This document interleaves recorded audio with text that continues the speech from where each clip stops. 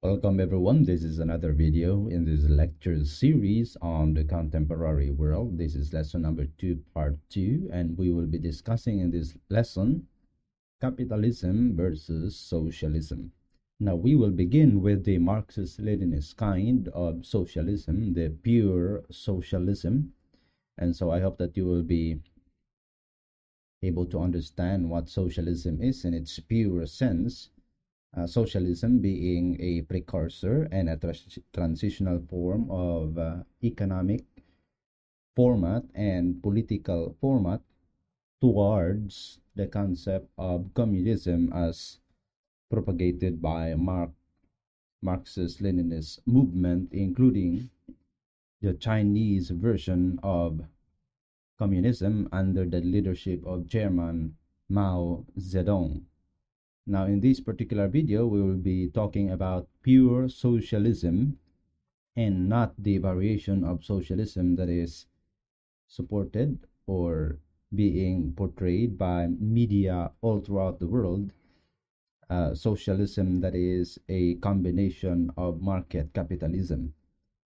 Now, socialism is a political and social economic philosophy encompassing a range of economic and social systems characterized by social ownership of the means of production and workers' self-management of the enterprises.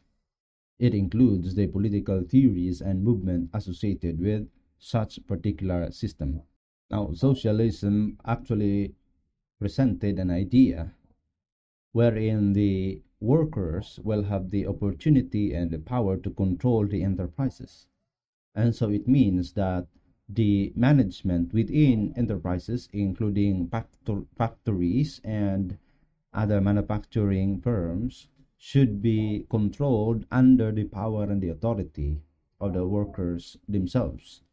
And in socialism, there is no private property all of the enterprises are owned and managed by the government. Hence, it is a public property. It is a public property.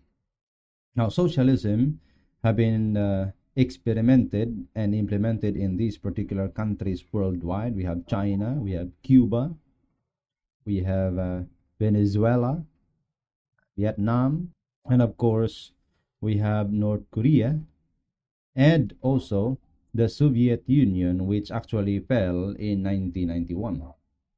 Now they are trying to perfect the concept of socialism in the context that they will implement in totality the principles of socialism and then eventually transition into communism and uh, hardcore communism wherein rights were suppressed and many of the people were actually killed during the revolution that took place in these particular countries.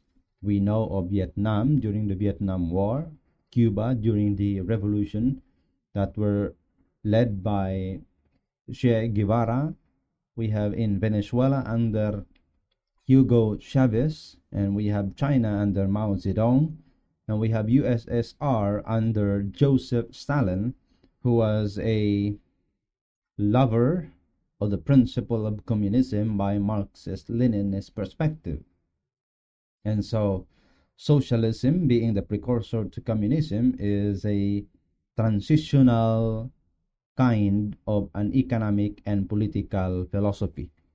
And so, those who have implemented socialism have actually had their own challenges, and at some point, many of the instances that these particular principles were implemented have caused tremendous pain as well as suffering among its citizens.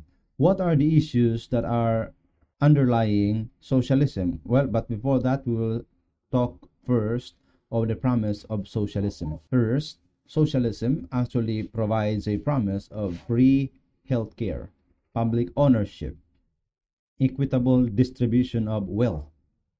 When we speak of public ownership, it's the government that owns almost practically everything. that each individual will not have sort of private property for their own.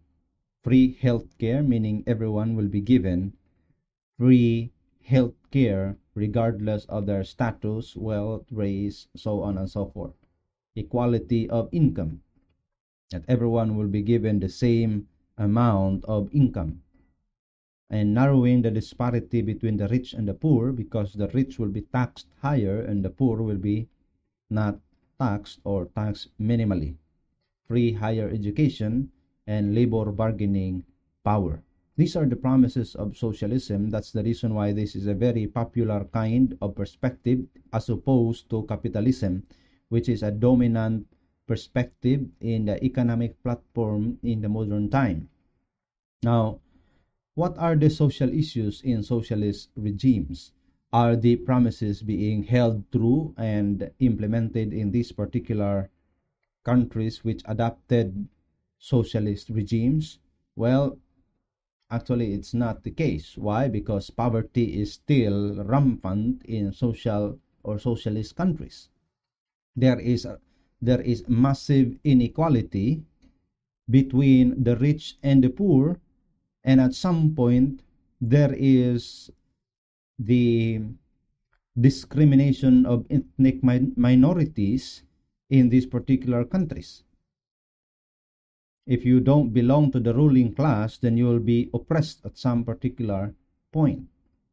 Curtailment of the freedom of the press and the restriction to freedom to travel, just like what is happening in North Korea and in some other countries in the world that adopted a pure socialist regime, where there is no freedom of the press.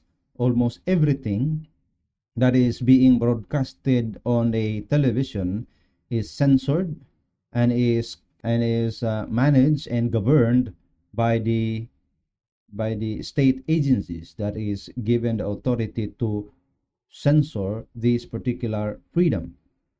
Uh, for example, in countries like North Korea or China, perhaps, you cannot publish anything that will degrade the government or at some point try to criticize the government for actions because that is uh, a criminal that is a criminal action and you could be criminally liable because of that particular singular post in social media let's say for example criticizing the government.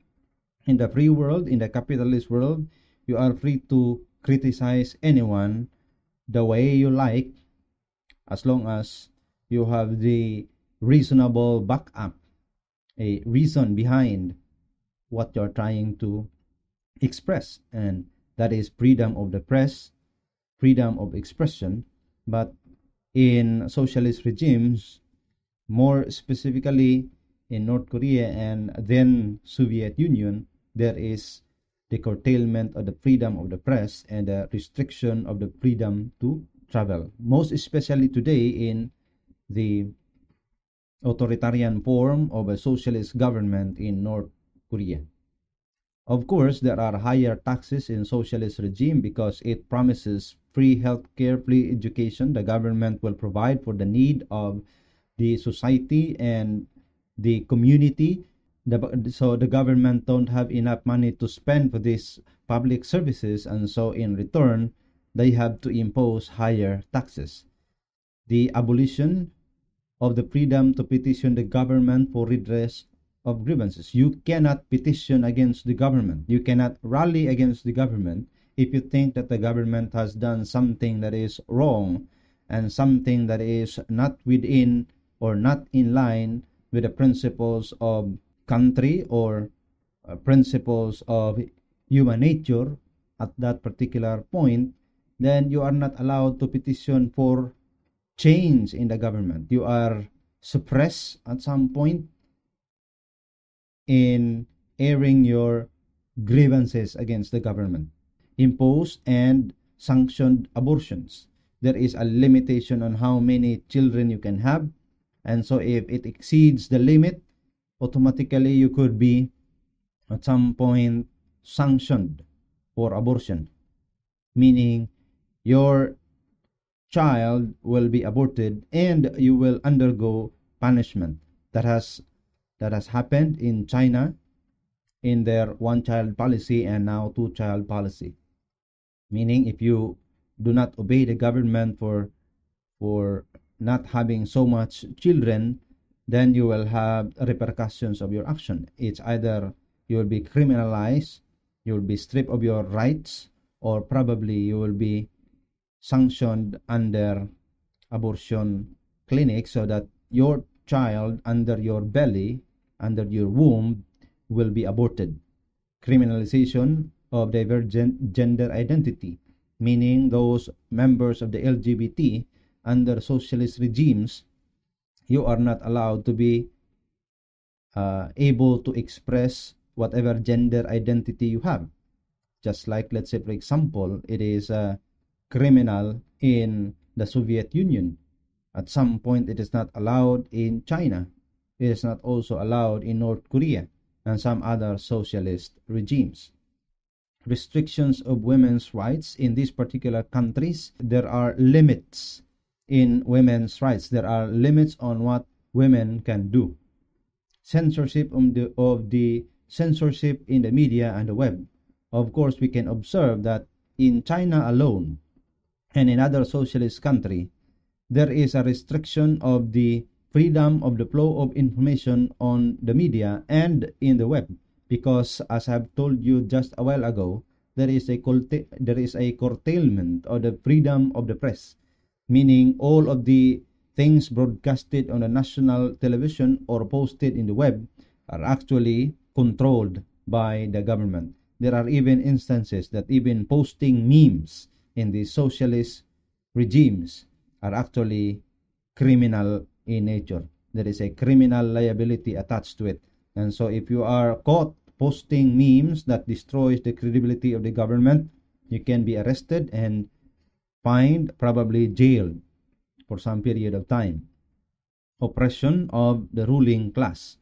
The problem with socialist regime is that those of the higher level of the hierarchy in the society will remain there. In fact, those who are at the top will still continue to oppress those at the bottom, especially those at the top of the government hierarchy because in this case the government has a control of everything all the need of the people and so those who control the power of the government has the power to control the populace at the bottom level of the hierarchy. And so the ruling class in this case are not the private citizens with a lot of richness and money the oppressive ruling class are those that are in the government the elites in the government which has the authority and the power to control whoever it is at the bottom of the hierarchy in the society. And so socialist regimes still have an oppressive nature and oppressive ruling class. In this case, it's the government and the government employees and government workers, including those leadership from the top of the government itself. Now let's go to the adversary perspective on what socialism is, and that is capitalism. Capitalism is an economic system based on private ownership of the means of production and their operation for profit. Central characteristics of capitalism include capital accumulation, competitive market, a price system, private property, and a recognition of the property rights, voluntary exchange, and wage labor. Now, in capitalism, this is opposed to socialism, and this is adopted by United States, France, United Kingdom, Japan, Canada, and Germany, and almost all majority of the countries worldwide is adopting capitalism because it actually allows private ownership of properties and the means of production is under the authority of the one who established the business itself and the purpose of that particular business is for profit. Who would want to start a business without thinking of profit and increasing what you have invested? Of course, that is some kind of a silly thing, but That is what is happening in socialist regimes. The central characteristic of capitalism includes capital accumulation, meaning accumulation of the money and the means of starting a business, competitive markets because there are more private institutions that are within that particular market, price systems. So price will vary on depending on the competitiveness of a particular market, private property, of course, and the recognition of property rights. There is also voluntary exchange and wage labor. In socialist countries, there are actually no established labor labor standard because you only have to bargain and negotiate with the owners of the company or the government for that matters. And so that's the reason why there is a bargaining agreement between the workers and the owners or the managers of a particular factory or company. Now, in this case, under capitalism, there is a wage labor, meaning there is a an established standard of which you have to pay for the laborers itself. Now, what are the promises of capitalism?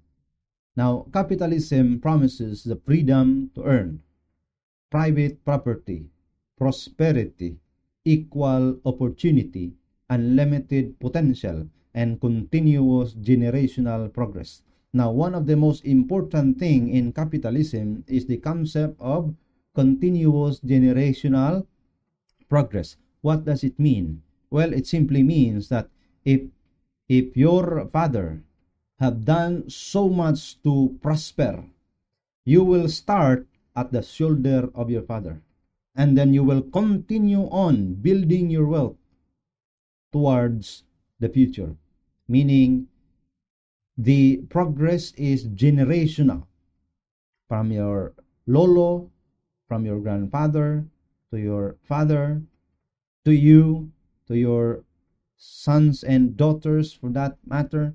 And in that particular way, there is continuous progress by generation.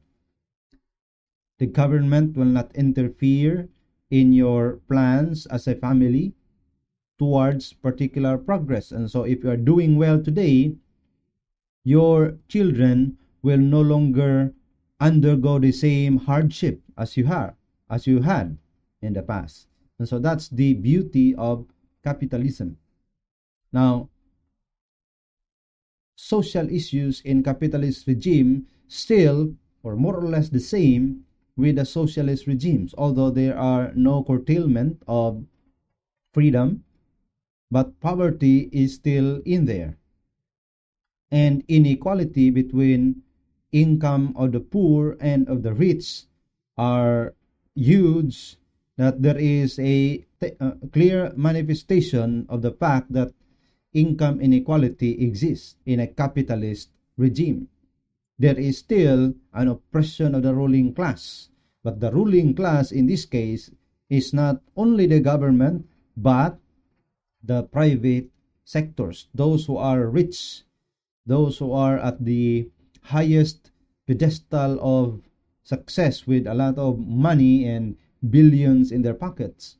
And so they are the one at some point oppressing those that are at the bottom, especially by investing in the third world countries and exploiting labor in in countries which don't have the opportunity or the option to choose another form of job. And so because of that they they just spend a very limited amount of money to pay for the laborers. In a previous discussion we had there is an example of a an industry in Bangladesh wherein one month of work actually is equal to one day of work in the United States. And so that is a an inequality in the context of the capitalist regimes. Of course, it is also at some point very apparent in capitalist regimes that there is a higher instance of graft and corrupt practices. there is graft and corruption in almost all capitalist regimes in the world, even including the United States. So there is graft and corruption. Although there is also an instance of graft and corruption in socialist regimes, but probably because the society is is uh, censored and the media is censored. That's the reason why we don't have the opportunity and the, the power to know whether or not these particular things exist. But one thing for sure because there is freedom of the press and freedom to know the the nature of the government government's action and anything that pertains to the budgeting and the fiscal management in the government in the capitalist regimes. That's the reason why we can easily pinpoint corrupt and corrupt practices. Now the differences between capitalism and socialism. Number one capitalism is an economic system where the means of production are owned by private individual, meaning you can start your own business and hire people. Now, in pure socialism, the means of production, such as money and other form of capital, are owned by the state or the public, meaning the government owns everything in a socialist perspective. Second is companies live by profit motive. They exist to make money. All companies have owners and managers. Under a socialist regime, everyone works for wealth that is turned that is in turn distributed to everyone. And so everyone has to work. In a pure socialist perspective, even if you don't work as hard as others, you will receive the same as others. So meaning if uh, you are a opportunist in the context of the socialist perspective, you will receive the same as those who are working so hard in the capitalist perspective, that is not the case. If you don't work hard, you will not receive any. If you work hard, the society will compensate your hard work. And so the more you work, the more money you have. The more the lesser you work, the lesser opportunity and money you will have. Under a socialist perspective, that is not the case. Whether you work hard or you work less, you will receive the same because it will be distributed to everyone in an equal manner. Now, it is the government's job by enforcing laws and regulation to make sure that the level of that, there is a, a level playing field for private property run companies. Meaning, the role of the government is to balance the situation wherein the the field is equal in the in the case of people who are trying to start business, whether or not you are a huge company or a small company, the role of the government is to make sure that there is no imbalance in the in the implementation of the laws and the opportunity that is available. In the socialist perspective, the government decides how wealth is distributed among the people because they provide for the people. At the end of the day, it's the government that decides how the wealth will be distributed. And so that's the reason why there is a danger with this particular kind of perspective because there is an opportunity that those at the top will be deciding for their own and neglecting those at the bottom with no opportunity to grow whatsoever because you are restricted to work under a government institution and provide and the, and the government will provide for your own need. And that is a problem in the socialist perspective. Now if you look at the levels of wealth by country on a household basis you will actually observe that those that are at the top of the hierarchy of the richest wealth by person in every household in 2018. This is by Visual Capitalist website in the internet. You can, of course, search visualcapitalist.com. You will actually observe that Australia, the United States, Canada, Japan, United Kingdom, Germany, France, Italy, being a capitalist country, actually produces higher average wealth per person in all countries in the world. Meaning there are more rich people in a capitalist country than in a socialist countries. And so that gives you an idea what is the best form of government in the world. The best form of economic platform in the in the world because you know by these statistics you will certainly determine that at the end of the day it's it's the source uh, is the wealth distribution per household that matter. And so in this case majority of those at the top are actually capitalist countries. Now there is also a common ground of which capitalists and socialists meet and that is the Nordic model. The Nordic model is a combination of social welfare and economic system adopted by the Nordic countries, meaning those at the northern portion of the European continent. It combines the feature of capitalism, such as market economy and market efficiency, with social benefits, such as state pensions and income distribution, also known as the Scandinavian model it is commonly associated with the countries in Scandinavia, like Sweden, Norway, Finland, Denmark, and Iceland.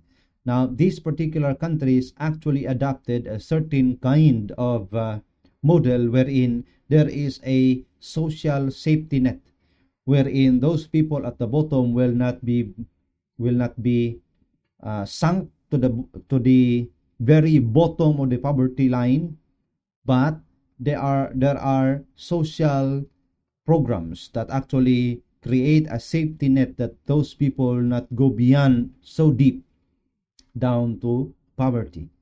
And so the the nordic model actually produce a a kind of a model wherein there is still capitalism the respect of private property there is a respect of of market economy and economic efficiency, of course, with the concept of socialism, wherein there is free healthcare, free education, and almost free everything under these particular countries. But that is not uh, provided with the these particular citizens without a price. Of course, there is a price for that. There is a price to pay. While it is true that many of the people in the United States, especially Bernie Sanders, a senator in the United States, who actually provided an idea that the Scandinavian country or the Nordic model is a socialist kind of a government. Well, the Prime Minister of Denmark, in his speech in Harvard's Kennedy School of Government, actually said very carefully and address the American people on the misconception that the Nordic model is a form of socialisting, uh, socialism, stating that I know some of the people in the US associate the Nordic model with some sort of socialism. Therefore, I would like to make one thing clear. Denmark is far from socialism or socialist planned economy. Denmark is a market economy. In effect, the Prime Minister of uh, Denmark said that they are not a socialist country, instead, they are a capitalist country. Because they have uh, free market enterprise, they have private properties, although they have social programs, but that does not make them a socialist country. Because it's not the government that owns everything. It is not the public that owns everything, it's the private institutions and private people. While it is true that they have these social programs that provides free education, free health, and almost everything that is basic is a free service from the government, it comes with a price. Now, if you look at the price to pay for a Nordic model, this particular image that is shown in your screen at this particular moment is a in is an income tax percentage per country in the world. And so if you look at Sweden, Finland, and Denmark, the citizens in these countries are actually taxed as high as 57.2%. So every $100, you have to pay $57 to the government as taxes. In Finland, there is 56.95% of your income tax. In Denmark, that is 55.8% of your taxes will go to the government. And so while it is true that you will receive public services from the government, imagine 57% of your income will go to the government. And so the Nordic model might be a good thing to hear because the government have been spending so much for social program. It comes with a high price and that is more than one half of your salary will go to the government as taxes. Now, if you want a socialist kind or a combined socialist perspective of government method, be ready to provide your salary, at least one half of your salary to the government. Then if you're not ready for that, let us just enjoy a capitalist country like ours in the Philippines, in the United States, in Japan, and in some in so many countries in the world where freedom to earn and ability to prosper is guaranteed. Thank you very much for watching. I hope you learned something in this lesson. See you in the next video.